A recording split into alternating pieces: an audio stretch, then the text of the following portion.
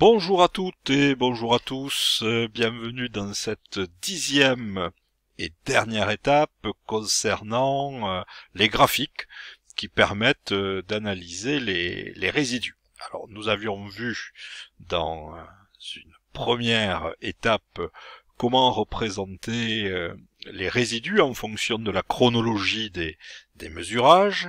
Ensuite, nous nous sommes intéressés dans une deuxième étape à la représentation des résidus en fonction des fractions massiques, des fractions volumiques ou des fractions molaires de chacun des constituants, et puis nous avions représenté la variation des résidus en fonction de la, valeur de la réponse calculée. Alors, il y a une hypothèse euh, sous-jacente à l'analyse de régression, c'est que on, suppose que les, résidus sont euh, normalement euh, distribués. Et donc on va s'assurer de cette normalité des résidus au travers d'une représentation graphique. Alors pour tous les, les auditeurs qui auraient euh, qui seraient confrontés à des problèmes de vérification de normalité, euh, je vous recommande de lire avant tout euh, une norme française. Alors certes, elle n'est pas récente, elle date de 1995, mais qui permet de proposer différentes méthodes de vérification de la normalité d'une distribution de valeurs. Euh, cette norme mériterait peut-être d'être mise à jour en fonction des, outils de calcul actuels et, d'autres tests de normalité qui ont pu apparaître, mais euh, en l'occurrence, euh, c'est ce qui fait foi aujourd'hui, et donc on va utiliser une méthode graphique connue sous le nom de méthode de Henry qui est proposée dans cette norme. Alors, euh, comment euh, faut-il procéder? On va affecter un rang par ordre non décroissant à chacun des, résidus. Alors, affecter un rang par ordre non décroissant, euh, ça fait penser à la construction d'une fonction de répartition et nous en avions déjà mis une en œuvre euh, pour visualiser la, répartition euh, des valeurs des réponses et ensuite on va finalement appliquer cette fonction de répartition des résidus à une comparaison avec la fonction de répartition de la loi normale. Donc on va d'abord affecter un rang par ordre non décroissant, euh, ça veut dire du plus petit au plus grand à chacun des résidus, et on va transformer ensuite ce rang en fréquence, alors euh, partir euh, de la formule i sur n plus 1, n étant le, nombre de résidus, en une formule un peu différente de celle que nous avions mise en œuvre précédemment, je vais justifier pourquoi euh, juste après. Et à partir du moment où on aura cette fréquence ou cette probabilité, eh bien on, va chercher le, quantile correspondant, alors la valeur correspondante, à partir d'une loi normale, normale centrée euh, réduite. Une loi normale euh, de moyenne égale à 0, comme les résidus, et d'écart type qui est égal à 1. Alors pour obtenir le quantile correspondant, la valeur euh, telle que euh, dans une loi normale centrée réduite, euh, on ait la fréquence obtenue par la formule qui précède. Mais la formule dans Excel, c'est celle dont j'ai recopié la, la boîte de dialogue à l'écran, loi, point normal, point standard, point inverse, point n. Voilà. Donc on nous dit que cette fonction renvoie pour une probabilité donnée, la probabilité c'est la fréquence que vous calculez partir de la relation euh, i sur n plus 1, i étant le, rang du résidu, ben, pour une probabilité donnée, cette fonction renvoie la valeur d'une variable aléatoire suivant une loi normale standard ou centrée réduite, euh, avec donc une moyenne de 0 et un écart type de 1, et c'est cette, cette valeur que l'on appelle le quantile.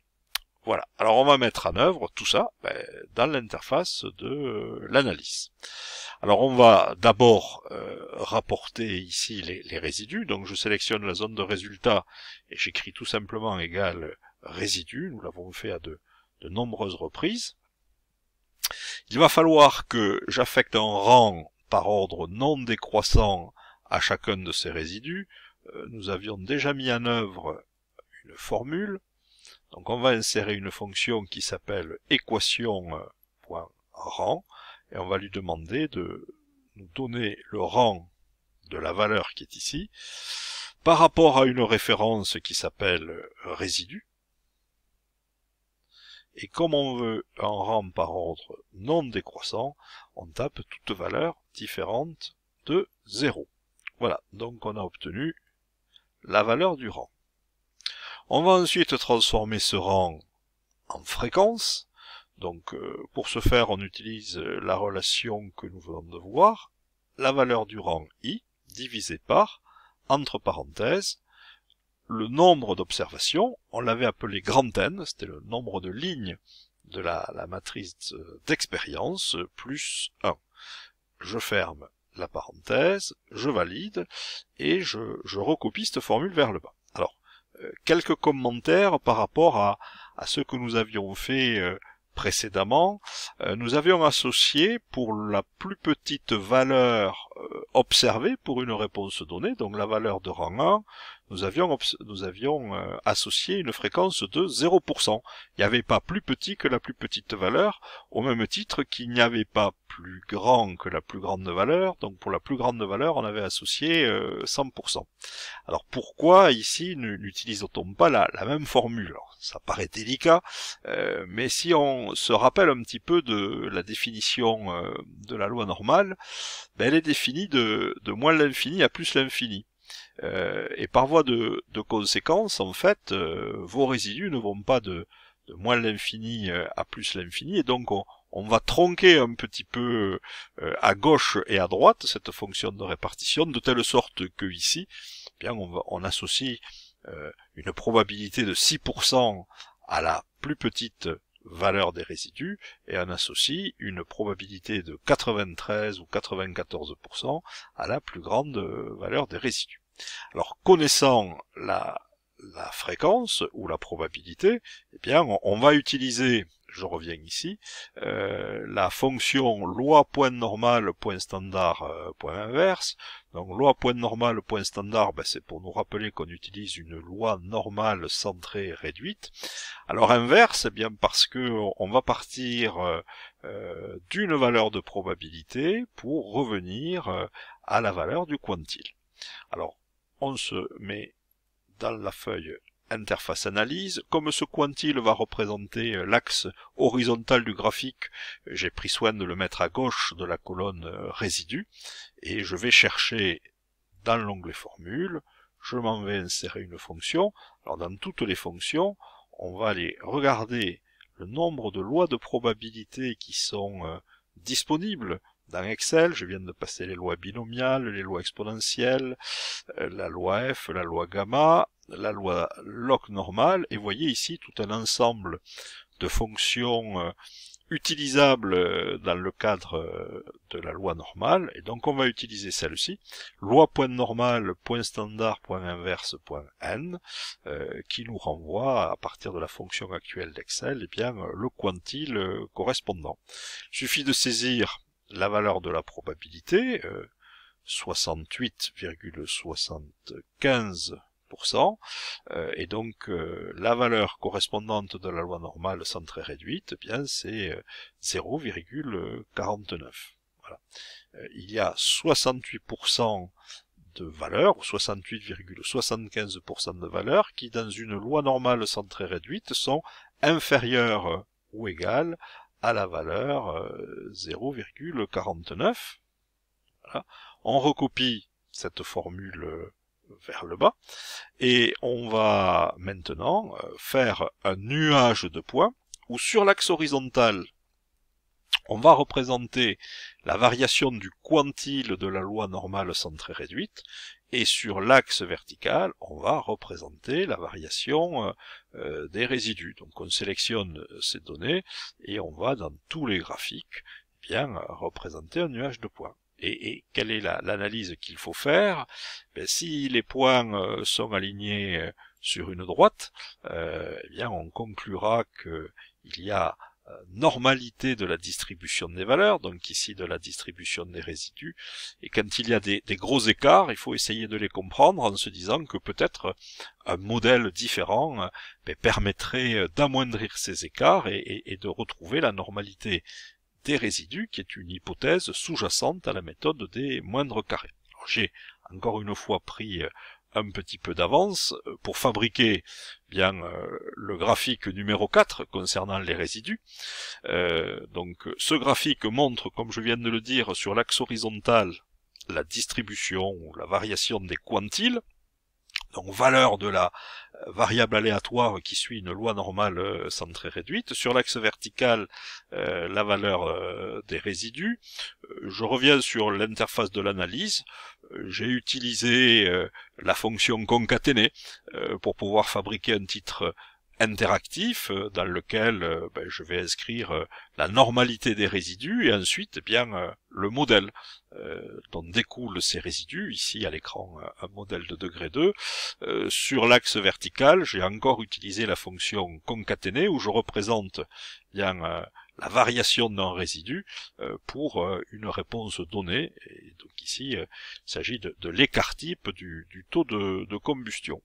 Donc j'ai rapporté aussi sur ce graphique-là euh, des menus déroulants qui vont me permettre euh, bien réponse par réponse, euh, modèle après modèle, de porter un jugement sur la normalité des, des résidus.